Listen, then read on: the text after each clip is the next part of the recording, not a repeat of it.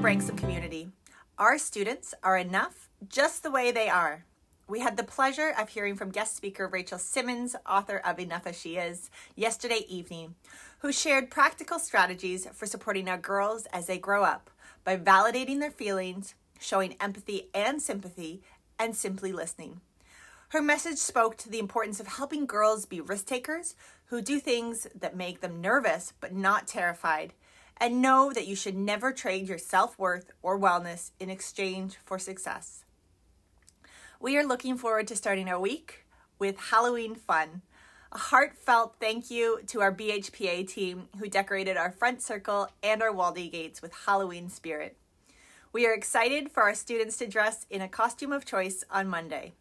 We would ask that costumes be comfortable, as students will wear them all day and will need to be able to change out of them easily should they have PE on the day. Please note that no makeup or masks are to be worn, and no weapon replicas are to accompany Halloween costume. In Wednesday's assembly, we also shared a very important message with our students that my culture is not a costume. Selected costumes should not portray a stereotype image of a culture or a group of people. Costumes should not become opportunities to turn a person's identity into a stereotype image.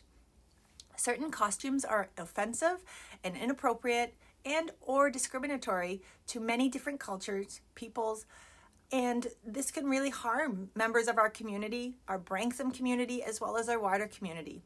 So we very much appreciate your support with this. Similar to past years, students are welcome to bring in any candy that they wish to donate after Halloween, and our action leaders will make sure these get moved onwards.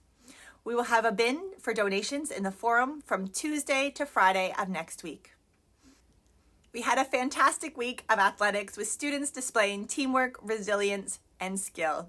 Our swimming, cross country, basketball, and soccer teams all did a tremendous job in their championship games and meets. We look forward to celebrating all of these teams at our athletics breakfast in May. This week, we have a fun story with a monster called Do Not Open This Book by Andy Lee.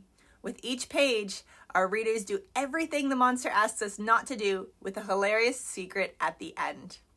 I hope everyone has a wonderful weekend, and we'll see you next week.